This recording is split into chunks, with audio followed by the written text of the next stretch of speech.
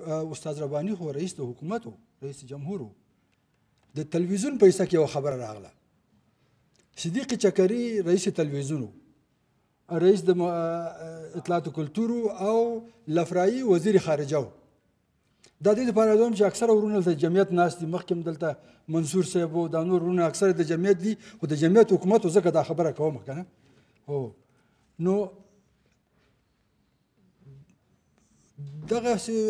ویل دا اسلامي حکومت دی نو په دې اسلامي حکومت کې د فحشا او دا خبرې نه نو بیا داسې دا غزلې او دا خبرې د پکې نه وي که نه صدیق چکري او لفرایي ویل چې دا خو د ښځو حقوق دي دا د ښځو حقوق باید ورکول شي نو یو مجلس جوړ شو په هغه کې مولوي زیار صلاح رحماني او څو نور مولایان د حرکت دام ناستو خالص مولوي صاحب ناستو موږ هم ناستو استاد رباني او دغه هم و د دا موسیقا خالص هم نو بیا دوی دا دلایل ویل چې د ښځو دا حق دی چې دوی باید نطاقي وکړي دوی باید خبرې وکړي دوی باید څه وکړي نو مولوي خالص ورته یوه خبره وکړه ویل چې دا ستاسې خبره صحیح یوازې په دې تلویزیون کې بخښنه غواړم چې دا ټلیفون دا ټلیفون بندوم ویل چې دا یوازې خایسته خزي حق لري که بدرنګ خزي حق لري تاسو په ټلیفون کې واره په تلویزیون کې واره بدرنګ خزه راوستي ټول خایسته راولي خو څه فساد درکې دی خو دوی داسې وکړي چې د ټولو خزو د حقوق لپاره دغه وکړي کنه دا خب... دا, دا د استاد ربانی دی خو استاد ربانی بیا یو خبره ورته وکړه مونږ لرو خو زه به داسې وایم چې زمونږ هیئت په مذاکراتو کې دا مشکلات لري جناب استاد ناست دی او استاد یو دغه کسان نه دی چې ډیر معتدل او اعتدالي دغه کوي دا د موضوعات سره برخورد کوي او دغه کوي دا او دا خبره چې دلته اوس وکړه چې د دې ضرورت دی کنه چې موږ خپل خلک په دې خبرو باندې وپویو مونږ لکه زه فکر کوم مونږ دوه برخې دغه لرو یو برخه دا ده چې اوس د مذاکرې ته ناست یو خو د مذاکرې نه یو نتیجه راواخیستل سي او دا جنگ بند شي او یو په اسلامي نظام باندې خبره ده په اسلامي نظام باندې خبره ده که موږ داسې یو اسلامي نظام وغواړو چې هغه یوازې زمونږ د جمعیت ورونه تقاضا کوي شاید ډیر ورونه نور په اتفاق ونه کی نو ځکه داس یو اسلامي نظام وی چې هغه د ټول افغانستان لپاره وي داس یو اسلامي نظام چې حکمتیار صاحب غوښتنه کوي هغه ور باندې غو کی خو لکه نور افغانستان خلک پکې دغه ونه لري دا ځای ونه لري داسې اسلامي نظام چې زمونږ د مثلا د د جنرال دوستم چې هغه دغه کوي دا تقاضا کوي غوښتنه کوي یا مثلا زمونږ هزاره ورونه دغه کوي خو لکه دلته دا یو خبره وشوه چې دا یو خبره وشوه چې مهمه خبره دا و چې او داسې یو نظام وي چې هغه کې ټول خلک ځان د افغانستان وګوري هغه کې ازبک ځان وګوري تاجک ځان وګوري او ازاره ځان وګوري پښتانه ځان وګوري دا ټول ځان وګوري هلته نو په دې لحاظ باندې په دغه یو اسلامي نظام لپاره که دا په دې باندې اتفاق ډیر اعلی باندې نو په ډېر هغه مغه ارجح باندې هم نه و، خو دا اتفاق په دې باندې راتلی سو چي جواز یې درلوده، جایز و، خو اتفاق پرې راځي. جناب استاد د اندونیزیا خبره وکړه، دا ډېره مهمه ده، زه اندونیزیا ته تللی یم او هلته په اندونیزیا کي مونږ د رئیس جمهور سره ملاقات وو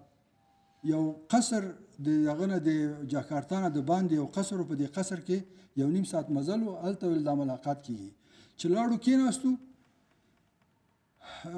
اندونیزیا خلک هم راغله کېناستل موږ داسې فکر وکړو چې رئیس جمهور وروسته راځي یو سړی خبرې شروع کړې موږ دا سکرتر دی دا سکرتر خبرې شروع کړې موږ ورته څه ډېر توجه ونه کړه دغه ونه خو وروسته معلوم شو چې هماغه رئیس جمهور و نه یې تر شاته باډي ګارډ ولاړ و نه یې تشریفات و نه یې بل څه عادي یو سړی راغی موږ سره په دغه کې ودرېدو خبرې وکړې او چې خبرې وکړې د خبرو په منځ کې موږ پوه شو چې دا دغه دی دا رئیس جمهور دی بیا تاسو یقین وکړئ چې زمونږ هلته د هیئت مشر خلیلي صاحب دا خلیلی صاحب او دا کسان یې په دې موټرو کې دا وړه وړه د ګلف موټرو په دې کې کېنول یو پارک په دې پارک دا دغه د رئیس جمهوریت دغه چې قصر و پخوا دا د هالند مرکز و د هالندیانو چې کله استعمار وخت و د دلته یې وګرځولو بیا پس د هغې نه په یو رستورانټ کې کېناستو دوه نیم ساعت هم د رئیس جمهور سره مجلس وکړ دوه نیم ساعته فامیلونه ځای په ځای باندې په دې پارک کې ناست وو هیڅ ډار نه و، هیڅ تشویش نه و، هیڅ خبره نه وه. موږ دوه نیم ساعته دې سره کېناستو او دوه نیم ساعته پس دا صرف ځینې خلک راغله یو معین وخت کې عکسونه واخیسته. دینه په غیر نور هیڅ تشویش نه و. نو مونږ لکه د چې دا د اندونیزیا خبره یاد کړه چې آلته ولس نیم زره جزیرې دي او هلته څو سوه قومونه دي څو سوه ژبې دي دا ټول هلته خوشاله دي او د دغه لپاره موږ په افغانستان کې دغه یو نظام ته ضرورت لرو چې یو سړی په دې حساب چې ته پښتون پښتو دې ویل ده پښتو ژبه دې ویل په دې خبره ګناګار نه هغه په ماموریت کې وظیفه ولري هغه په اداره کې مقرریدای شي هغه وزارت خارجه ته تللی شي خپل کار کولی شي د دې ضرورت دی د دې ضرورت دی چې یو سړی د کاولنګ نه دی لرې ځای د هزارجات نه راغلی دی او دلته راغلی دی او دی خو د افغانستان تباه دی هغه د وزارت خارجي ته ځي د وزارت داخلي ته ځي د تللی اوسي هلته خپل کار کولی شي خپله خبره کولی اوسي مونږ د دغسې یو نظام ته ضرورت لرو چې یوازې د یو یو پارټي یو حزب یو ډله یو طبقه دا پکې دغه نه وي زه خوځ مصالحې شورا معاون یم او خو دا خبره دلته ورونو وکړه چې باید حکومت یو موقف ونیسي دا دا طرف دا ټول یو موقف ونیسي په یو موقف باندې خبره وکړي دا ډیره ښه خبره ده بهترینه خبره ده خو دا خبره هم ده چې د افغانستان کې دغه توقع کول هم ګور اسانه خبره نه ده ځکه موږ تاسو خو د رئیس جمهور هم د افغانستان دی د مصالح مشر عبد الله د افغانستان دی او د مصالح شورای کرا واخلې ک فوج کرا واخلې ک پولیس کرا واخلې ک دا ټول نظام د دې افغانستان یو خو موږ په دغه جغرافیه کې اوسېږو په دې جغرافیه کې چې اوسېږو څنګه وکړو چې دغه خپل د جغرافي خلک چې دا راسره دي دا راسره مطمئن او دلته راسره راسره راسره لاړ شي داسې فکر ونه کړي چې نه ولا تا خو ماته چل جوړ کړی دی متاسفانه زه اوس یقین لرم سره د څه دغه خو زه یقین لرم چې علما ډاریږي یوازې هغه طالبان نه هلته چې دي دا دلته چې ناست دي دا هم ولا ډاریږي دا هم په دې په دې باندې ډارېږي دلته خور خبره وکړه د ښځو د حقوقو واقعا دلته غلط کارونه شوي دي غلط حرکات شوي دي چې هغه اوس ټول تشویش لري په دې څه کې چې دا دا که بیا داسې نظام راځي بیا به د خلکو بیا به په لښتو وهل کېږي بیا به دوی په لارو کې د بیا به دوی د سراچې موټر شاته آخر ځای کې کېنول کېږي یا به مثلا په تکلیف ورته رسېږي تعلیم نه به محرومېږي بل شي نه محرومېږي نو د دې دپاره دغه هیئت چې تللی دی هلته دې هیئت ته موږ دا خبره کړې څو وخت مخکې دوی په رخصتي راغلي وو او د رهبري هیئت مجلس چې جناب استاد هم پکې تشریف درلود په دې مجلس کې ورته دا خبره وشوه چې تاسو د اسلامي نظام نه مډارېږئ ولی اسلامي نظام نه ډاریږي یوازې طالبان د اسلامي نظام خبره کوي دی خو نه بده د خو د افغانستان خلک ټول مسلمانان دي د د نه نه نه فیصد نه ټول موږ ول اسلامي نظام نه دفاع نه کوو حتما څه خبر به چې موږ اسلامي نظام نه دفاع نه کوو موږ په پام دې حساب باندې الته دا خبره هغه ته وشوه دغه مجلس مشر ستانګزی صاحب هغه دا خبره وکړه چې که دا طالبان دا خبره ونه مني څنګه کیږي دا دوی دا دا مذاکرات پرې نه دي کامیابېدو ته بیا به څنګه کیږي حکومت کومه اله د فشار لري بیا د دې لپاره دغه شي ما ستانکزي صاحب ته ویل چې جناب ستانکزی صاحب که ته سوله غواړې که نه دا تا آیت رښتیا سوله غواړي که نه که نه دا د هر چا په نمایندګۍ تلي که د هغې اهداف ترسره کېدل دا به مني که نه حقیقي سوله خو بیا خو نه راځي مګر که ته رښتیانۍ سوله غواړې ته رښتیا قدم کېږده د سولې دپاره او دا ملت چې یقین راغی چې دغه خلک رښتیانۍ سوله غواړي دا ملت ټول تر شا داړي د علما او جامع مدني او ښځې او نر ټول دا چې ودرېده که طالب سوله نه غوښته یوازې پاتې کېږي بیا به هغه یوازې پاتې شي نو په نو په دې وجه باندې د دې نه تشویش نه پکار چې اوس موږ یو بل اله یو بل دغه ولرو د دغه لپاره د فشار لپاره نه د فشار اله موږ هم دا ده چې موږ واقعیا موږ سوله وغواړو او زمونږ ضرورت هم ډیر دی زمونږ مشکل ځکه چې موږ د وطن خلک ځان ته وایو ځان د خلک وطن خلک ګڼو او په دې وطن کې ډیر تکلیف دی د دې لپاره موږ سوله وایو چې دغه دي شي نو د دې لپاره موږ وایو چې دغه کوم چې دغه دوی دا د ان سي ای دوی دا او یا مثلا دغه مجمع چې دا د مدني ټولنو مجمع دا سي داسې غونډې مجلسونه کړي دا ډیر ضروری دي ځکه ضروری چې په دې کې به تفاهم راشي او مونږ چې په خپل وطن کې په خپل سره په تفاهم ته ورسېدو خپل منځونو کې یو خبره کوله اوس دا غو سره کوو کنه اوس ښه دا دغه حاجي دین محمد تاسو سره په دې مجلس کې ناست هم ده به زنه ټول سره ناست دي د اعتراض لري په دې په دې اوسنۍ وضع باندې دلته اعتراض لري په دې اوسنۍ وضع باندې په ډیر شانو باندې په ډیر شانو باندې دغه سره موافق نه دی نو بیا د دې لپاره د دې ضرورت دی چې مونږه داسې یو لار ونیسو چې یو اوس په عاجل ډول باندې په عاجل ډول باندې دا جنگ څنګه بنديږي څنګه تفاهم دی غورونو سره چې هغه یو د بل سینې ته ټوپک نیولای دی د دې ټوپک په ځای باندې د سره سره په مجلسونو کې سره کینو خبرې وکړو په دې په دې دې ته څنګه دا خبره برابر کو نو دلته به موږ نه ځنې عاجل اقدامات غواړي عاجل اقدامات غواړي چې په هغه عاجلو اقداماتو باندې مونږ ام خپل دلته خپل منځو کې خپل قومونو خپل خلکو دې ته اطمینان ورکړو چې او مونږ خپل منځو کې سره په دغه دا دا غواړو او بیا د هغې په صورت کې بیا د طالبانو سره خبرو وکړو د طالبانو ځینې خبرې داسې دي چې هغه ډار دی هغه ډار دی چې لکه ته وایې چې اسلامي نظام عملي کوي نه ته وایې چې د د دیموکراسي د انتخابات دي خو انتخابات هغه څه کیږي هغه جنجال د پکې راځي ته وایې چې مثلا دا ټول ته زه حق ورکوم خو بیا یو څو کسان دغه په لاس کې اخلي نو د طالبان خو انسانان دي هغه هم که داسې راسي زموږ په دې اجتماع کې په همداسې مشکلاتو به هغوی مخ کوي که د هغوی حکومت راغی خو په حکومتونو کې خلک کتلي دي چې مشکلات پکې وو بخښنه غواړم زه به لږ دا یو ځل مسکو کې زموږ کنفرانس و طالبانو سره مجلس و یو کس د علومي صاحب چې وزیر داخله و علومي صاحب ګیله وکړه یعنی دا تاسو مجاهدین خلک ټول دا علما او دا دین دا خلک ټول سره یو ځای کیږي هر خواته ځي زمونږ نماینده نه وړي ګیله وکړه ما ورته چې یاره کې دین ورسته چې د دومره خلکو نمایندګان زی خو د دوی د ملاړ شي څه کیږي څه کیږي خو د افغانستان خلک دي دوی نماینده د ملاړ شي ورته ویل چې علومي صاحب د اساس حکومت چې وو دا ستاسو په حکومت کې تاسو داسې نه وکړي چې چې څوک په دیموکراتیک خلق کې وو چې څوک دغه وو دا بیا هغه هر امتیاز درلوده یا پیشه هنګو یا بلو یا بلو په دغه باندې ولې علما تاسو مړ کول د تعلیم یافته خلک تاسو مړ کول سرمایدار تاسو مړ کول دا ټول دا دا څالو کو کار خو تاسو تاسو خراب کی تاسو نه خراب شو مارت ویل هغې نه وروسته راغلو مجاهدینو حکومت ته زه مجاهد یم په جهاد مې افتخار کوم خو خپلې غلطۍ باید باید باید سره ووایو چې موږ د موږ کومې غلطۍ کړې دي شورای مشورتي وه په راورپنډي کې او عبدالستار سیرت چې ډېر لوی عالم دی ټول خلک یې پېژني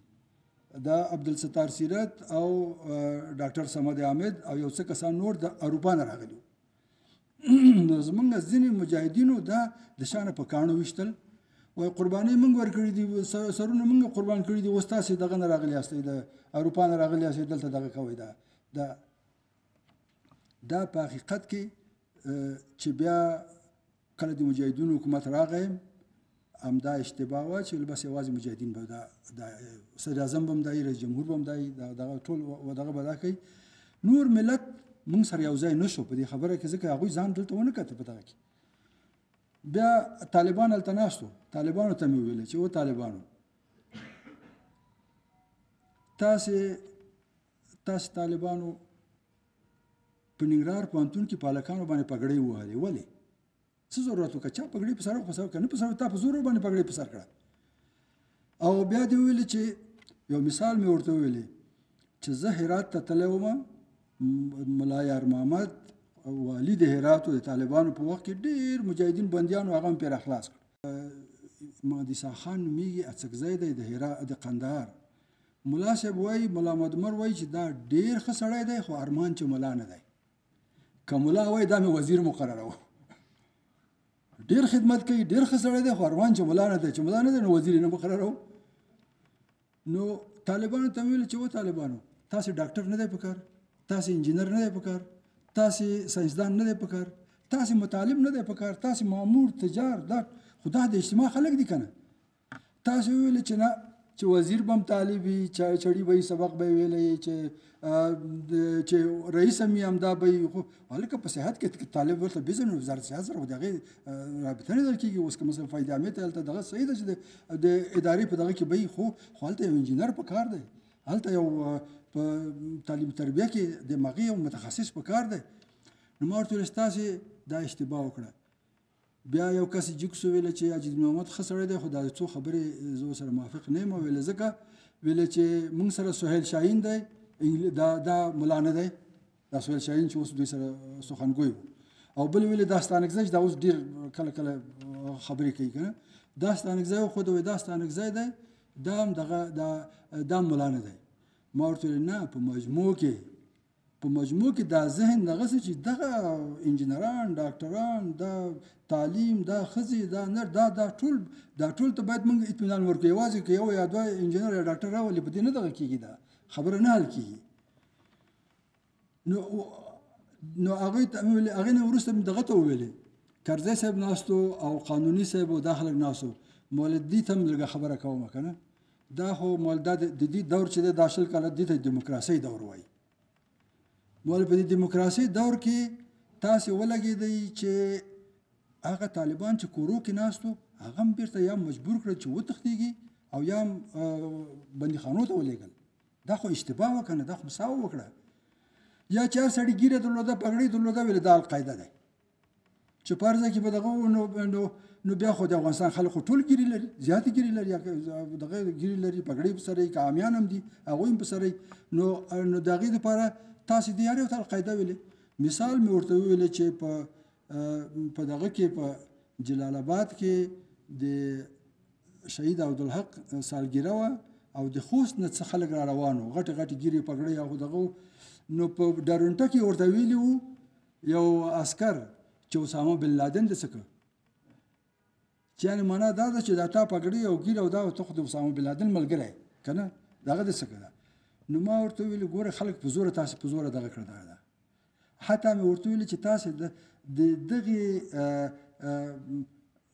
چې رښتیا خبره یي په دغه شل کال په دغه نظام کې چې چې کوم استخبارات سره رابطه نه و یا کوم ملک سره پټ ملګری نه و دلته په دې وطن کې وزیر کېده دلته په دې وطن کې چا ورته قرارداد ورکاو نه ورته ورکاو ځکه نه ورکاو چې ویل هغه خاص خلکو چې هغه سرمایداران سیم دي الکان الکان دي سرمایداران دي اوس کله یو خواته تختی کله بل خواته ورخطا دي ورخطا ډېر مغه دي وایي که د امریکا نه وځي دنیا به قیامت شي دنیا نه قیامت کوي څه خبره کوي نو په دې وجه باندې د قانوني صاحب ماته ویل چې لږ خو زمونږ صفات مو کټول د زمونږ غیبت وکړو مول چې نه د او او د صفاتونه ډېر لري دلته هم په ملاحظاتو باندې خبرې کوو صفاتونه به ډېر چې مثلا دا دا کار شوی دی دا کار شوی دا کار شوی خو لکه اوس په ملاحظاتو خبره کوو اوس لکه بیا ماته یو طالب را باندې اعتراض وکړو وای تا خو لکه د اشرف غنی خپلوان لکه دغه طرفداري دی وکړه ما ورته ویل چې نه موږ د کرزي صاحب دوره او د اشرف غنی دوره د دیموکراسي دوره یو دوره ګڼو د دوړو ته یو وایو نو چې هغه هغه یاد کړی چې دلته هر چاته القاعده ویل کېده یا هر څوک باید استخباراتو سره یوار ملګری سوی وای بیا دلته یو غټ وزارت یو بل شی اخیستی وای دا هغه چې و چې موږ د سولې نه لرې کړو مونږ یې د سولې نه لرې کړو اوس چې مونږ غواړو چې د سولې نه نږدې شو په پاریس کې طالبانو سره مونږ ناستو او هلته په شانتلې یو ځای په غزه کې په دغه کې په خبرو کې په هلته زمونږ طرف خلکو هغوی ته ویل چې تاسو د استخباراتو خلک یې تاسو د ایس آی خلک یې تاسو د هغوی دوی ته تاسو د سی آی خلک یې د بلې د بلې د بلې ما ورته ویل چې راځئ داسې وکړو چې خپل منځونو کې تفاهم وکړو د دې استخباراتو نه ځان خلاص کو څوک د سی د د آی اس آی استخباراتو پورې تړلي دي څوک د سی آی استخباراتو پورې تړلي دي راځي دا ټول نه ځان خلاص کو خپل مستقل یو دغه جوړ کو دا خپل خپل موضوع ځان سره وک سره وجنګو یو بل سره پوښتنه دا څل روان دی مونږ باندې نو بیا چاراته ویل چې قانوني څخه خفه شوی دی او بیا قانون صاحب ته ته ولې خفه وای خو دوی خلکو مخکې د مونږ پسې داسې مونږ دغه خبرې دی وکړي ما ورته چې نه ما خراب خبره نه ده کړې ما دا خبره کړې چې داسې نه کېږي چې یو باغان په بل باغان ګازرې خرڅ کړي هر یو استخباراتو پورې تړلی یو هغه ته وایي ته استخباراتو پورې تړلی یو ځان نه ښیي خو که موږ غواړو چې د استخباراتو او د خلکو نه ځان خلاص کو نو راځي سره تفاهم وکړو او دغه تفاهم لپاره اوس په دغه اوس وخت کې بهتره خبره دا ده چې طالب دې په دغه سي د موږ په خصوصي مجالسو کې په ټولو کې بده کې مرته ویل دي چې ته هغه اسې فکر مه کوه چې اوس تا ډار او تشویش په پخوا وختونو کې شاهدنامې په سر د تشویش پیدا شوی دی د دغه په سر دی د په جماعت کې خلکو ویلې ملا وشړی ملا ونیسئ دا خبره به کېده اوس هغه وایي چې نن ما وار راغلی زم درنه وار اخلم نو نو دې لپاره موږ وایي داسې وکړو چې همیش لپاره عالم محترم وي په اجتماع کې عالم محترم وي او هغه د خلکو راهنمایي وکړي او په عین وخت کې خو د نور خلکو باندې رحم وکړي دا نور خلک هم د ځان سره په داسې یو طریقه باندې چې هلته لکه مخکې چې استاد خبره وکړه چې هغه علما چې د د دین علما دي او هغه چې انجنیران دي هغه چې ډاکټران دي موږ ټول ته ضرورت لرو په دې اجتماع کې چې ضرورت لرو نو بیا په دغه باندې دغه تفاهم اوس مذاکرات چې موږ هلته وایو چې کېږي یا صلح موږ وایو دلته وشي دا د په دغه طریقه باندې وشي چې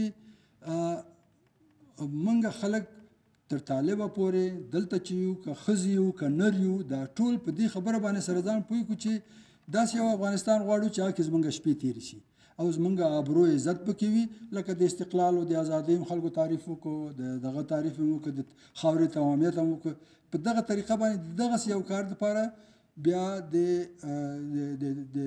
د هغه کله چې دا کار وشو هغې نه پس ته بیا د دې ضرورت شته چې زموږ علما او پوی خلک قانوندانان دا کینی دا د خزو په موضوع باندې پوره تفصیلی بحث وکړي خبره وکړي او بل اخره د اسلامی نظام په چوکاټ کې د خزې حیثیت څه شي دا مشخص واضح شي او په دغه باندې او همداسې په په نورو مسایلو کې موږ د مذاهب اختلاف لرو موږ ته نور جنجالونه دغه لرو چې هغه ټول د هغه څه چې د ټول نه پورته او دغه په چوکاټ کې یو د یو نظام لپاره کار وکړو بیا دلته که موږ ووایو چې یا دلته موږ وویل چې موږ دلته حزبونه لرو موږ دلته نهادونه لرو موږ مذاهب لرو موږ دلته دا نوې نسل ځوانان دا خلک لرو دا ټول لپاره بیا په کار ده چې په ګډه باندې په یو ځای سره کینو بیا داسې ورکو صرف لکه یو د بل د غولولو لپاره چې موږ دا چل جوړ کړی چې طالب څنګه زرا مات کوم رای ولم دلته او هغه طالب وایي چې یو وار خو خارجان دی وځي بیا زه تاسو سره ګورم نه نو دا خو بیا خو جنگ وسو بیا جنگ وسو جنجال وسو دا جنجال خطرناک دی د غزې ته برسېږي موږ ټول ته تاوان دی نو د دې لپاره ښه ده چې همداسې زمونږ هیئت د یو منطق د مخې نه د یو هغسې منطق چې هغه قابل د قبول وي او هغه مونږ کله کله زه خپل دهایتان ته دا خبره هم کړې چې صحیح ده تاسو خو دلته د یو چا نمایندګان خو انسانان هم د ټولنې خلک هم د ټولنې په دغه باندې زړه هم خوږوئ نو د دې لپاره بیا مستقل هم فکر وکړئ داسې فکر وکړئ لکه دلته چې مولوي صاحب چې خبره وکړه چې خو کله کله به سړی مجبورېږي چې هغه حقایقو باندې هغه څه چې حقیقت د ځمکې په مخ باندې په ماغې باندې خبره وکړي او د ځمکې د حقیقت خبره دا ده چې مونږ کله کله د دغه سي چوکاټونو نه چې هغه مونږ مجبورایي چې یو طرف باندې باید اتمن تایید وکړو یا رد وکړو مونږ سره د افغانانو پیس کینو خپل خبره وکړو نو زه یقین لرم چې د خوندو مسله مال کولای شو د علماو مسله مال کیږي د د د دنیا سره دا مهمه خبره ده چې افغانستان به د دنیا نه هیڅ امکان نه لري چې موږ وایو چې دا به یو مستق... یو افغانستان چې هر څه خپل خوخه نه چې د هغه سره په کوم لارو باندې موږ د دنیا سره تفاهم کولای شو چې ام زمونږ یو معتدل اسلامي نظام هغه کې د ټولو خلکو موجودیت او بیا د دنیا سره ښه روابط او د دنیا دا تشویش او ډار چې بس دې ځنه تاسو پسې بلاګان راځي او تاسو بخوري نه دا ډار هم لري کو او دا خبره هم د دغه زمونږ هیئت تام په دې خبره پوه چې څه غلطیان خو بدلته می ځکه که دوی یوازې همدغه خبره وکړي چې شی نه دیزی نه کوم الف بی ورته ویلې ده هلته یاده کړي نو دا استاد ښه مثال دی چې ځینې خبرې وکړي چې شاید د دې خبرو خلکو به خوښې نه وي خو هغه هلته چې مګر دنیا تایید کړي افغانستان خلکو تایید کړي چې خبرې په ځای باندې خبرې وي نو داسې اقدام لکه استاد هغه تشریف لري او کشکې دا منصور صاحب هم وای او بیا به ما خپل نظر دوی ته ویلم په مجلس کې ویل دی بیا ورته وایم او ستاسو دا نظرونه چې ویل دا ما ټول ځان سره یادداشت هم کړو او هغه تاسو دغه ورکوي دا موږ ان شاء الله د مصالحې شورا کې په دې باندې باس کوو او عین وخت کې به د مذاکرې هیئت ته هغې ته هم لاړ شي او بالاخره به مونږ د داسې یو اجتماع چې هغه کې د علماو عزت پکې هغه کې د ټولو سره تفاهم پکې یو بل ته بلا په سترګه ونه ګوري یو د بل په خلاف باندې